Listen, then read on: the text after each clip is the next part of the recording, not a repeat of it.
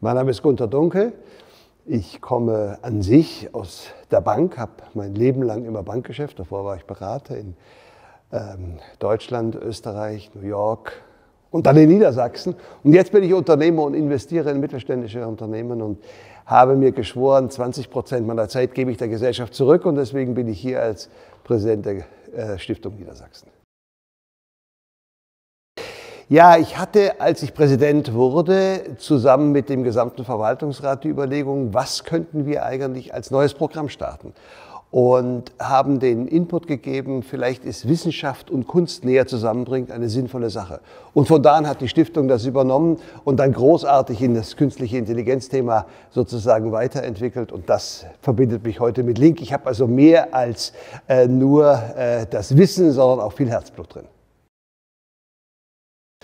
Na, bei mir ist das zwischen privat und beruflich sehr schwer zu unterscheiden. Aber ja, ich habe mich sehr intensiv damit auseinandergesetzt.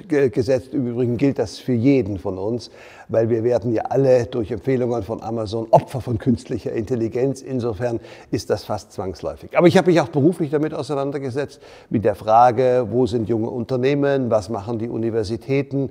Und äh, ich bin im Aufsichtsrat von Continental und da beschäftigen wir uns natürlich ganz intensiv mit künstlicher Intelligenz. Es gibt praktisch kaum ein Unternehmen auf der Welt, das diese Entwicklung nicht ganz grundsätzlich betrachten muss. Also wir wissen es nicht. Es ist ein äh, sozusagen Gang über die Eisfläche, bei der man auch ausrutschen kann. Aber was ich mir erhoffe, ist eine gegenseitige Befruchtung. Denn ich stelle fest, dass die Wissenschaft weiß, dass sie ohne Kultur als sozusagen Transformationsleistung nicht so effektiv operieren kann. Und die Kultur darf sich von der Wissenschaft nicht abschotten, weil sie ja selbst in der Gesellschaft tätig ist. Und insofern hoffe ich mir gegenseitige Befruchtung. Und da bin ich relativ optimistisch. Aber wer weiß. Die wichtigste Voraussetzung ist immer das Team äh, hervorragende Wissenschaftler, gepaart mit der Fähigkeit, ein Unternehmen aufzubauen und zu entwickeln, sind Voraussetzungen. Die gibt es übrigens in Niedersachsen und zwar nicht einzeln, sondern durchaus eine ganze Reihe. Wir haben eine hervorragende Universitätsszene, wir haben eine hervorragende Start-up-Szene und das Feld, wo man dann tätig ist, ist nicht so entscheidend.